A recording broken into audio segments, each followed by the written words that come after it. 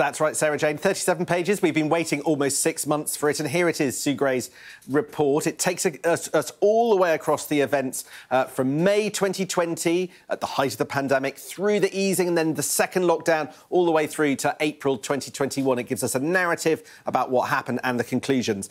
And really, Sue Gray comes up with three big things. The first is all about the culture of drunkenness at the heart of Downing Street and the top of Whitehall uh, during the pandemic. Let's start in June of 2020. Now, this is a leaving do for somebody at the Cabinet Office. Now, this event was attended by the then Cabinet Secretary, most senior civil servant Mark Sedwill, his deputy, and the head of ethics who brought a karaoke machine. Sue Gray said the event lasted for a number of hours. There was excessive alcohol consumption by some individuals.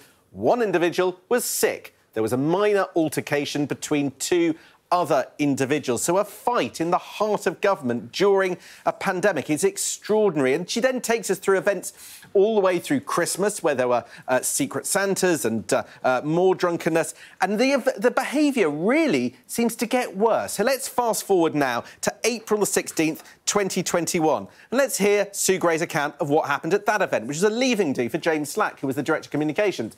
Those present were asked to leave the building of Number 10 by a Number 10 custodian or security guard.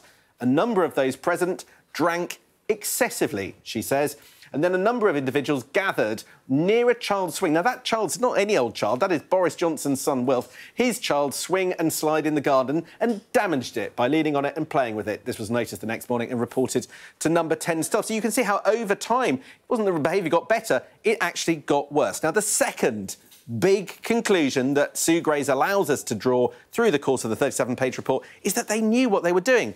Look at this. This is another director of communications arguing with the most senior official in number 10 about the bring your own booze party. He says, Well, I, I applaud the gesture, but a 200 odd person invitation for drinks in the garden of number 10 is somewhat of a comms risk, a PR risk, in other words, in the current environment. And Lee Cain goes on to say that he warned Martin Reynolds in person, and so did Dominic Cummings. Sue Gray couldn't find the records of that. But you could see that um, there were warnings. And then when Martin Reynolds, the most senior uh, official in number 10 at the time, uh, uh, was wrapping up the event and messaging a special advisor in number 10 um, about a story uh, that the media had, he said, oh, that's a complete non-story. But better than them focusing on our drinks, which we seem to have got away with got away with, was the view of the people in number 10 at the time, and Sue Gray helps us understand that.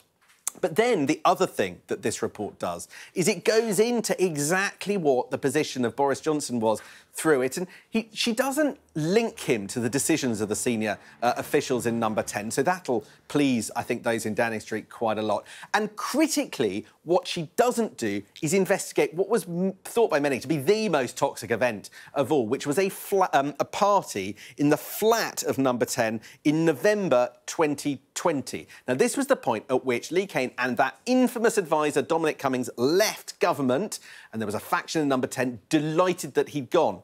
Sue Gray began investigating this earlier this year, and she starts to write about it in her report. She said, Well, the event began in the flat at six o'clock, and five special advisors attended, and the Prime Minister joined them at eight o'clock, and there was food and there was alcohol, and the discussion carried on late into the evening. So, was it a party? Well, that's where the detail stops, because she then goes on to say, I stopped investigating when the police took over the police decided that they weren't going to investigate or issue any fines, and here we have it. Following the Metropolitan Police announcement on the 19th of May, I considered whether or not to conduct any further investigations into this event, but concluded it was not appropriate or proportionate to do so. In other words, the potentially most damaging event of all wasn't ultimately investigated by Sue Gray because the police decided no fines were necessary. So what does Sue Gray conclude? Well, again, another reason why there might be some cheer in number 10. It sounds as if she's going to be quite damning. The senior leadership at the centre, both political and official, must bear responsibility for the culture that she sets out across all those 11 months. But then she goes on to say that in January she made some suggestions, and I am pleased at the progress that's being made in addressing the issues I raised. In other words, she is saying that yes, it was bad, but the changes have been put in um, course she is happy with. So she doesn't seem to be suggesting any further action is necessary. And upon that judgment, I suspect, Sarah Jane, you will get many Tory MPs saying that is enough for us to say Boris Johnson should stay.